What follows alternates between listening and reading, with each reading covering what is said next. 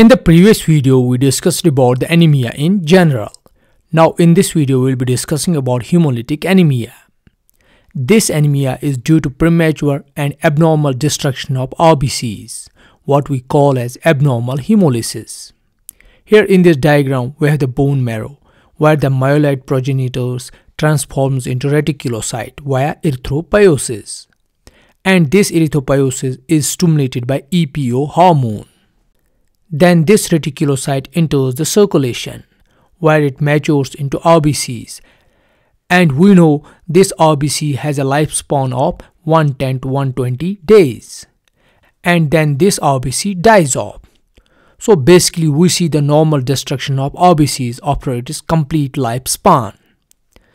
This destruction or this normal destruction of RBCs stimulates the kidneys to secrete EPO hormone more and more to drive more and more erythropoiesis. But when there is some malfunction, the RBC dies off before its actual time. And that time we call it as abnormal hemolysis, which is termed as hemolytic anemia. Now let's get to the mechanism of hemolysis. It's either intravascular or the extravascular hemolysis. We see in intravascular hemolysis, the hemolysis occurs inside the vasculature and in this case the contents of RBCs are released into the general circulation. And due to this we get hemoglobinemia, which in turn leads to hyperbilirubinemia. Because of all these conditions we also get the jaundice and splenomegaly.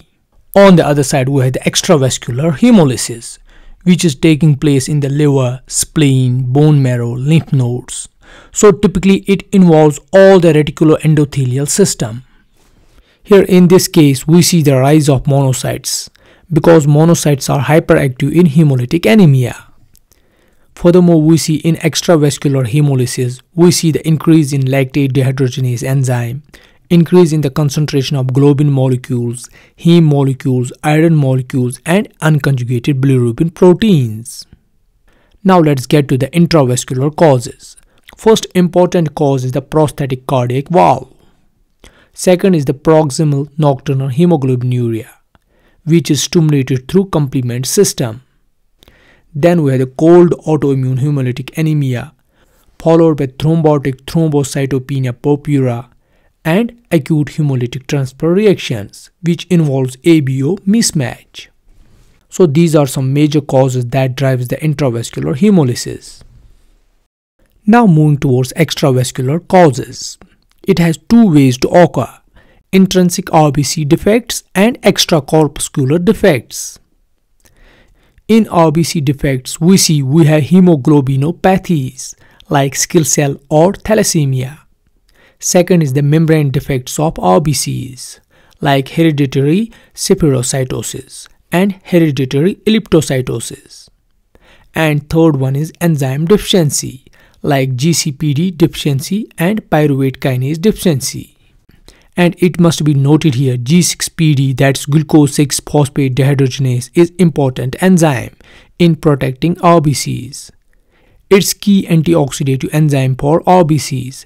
It eliminates reactive oxygen species that can destroy the RBCs.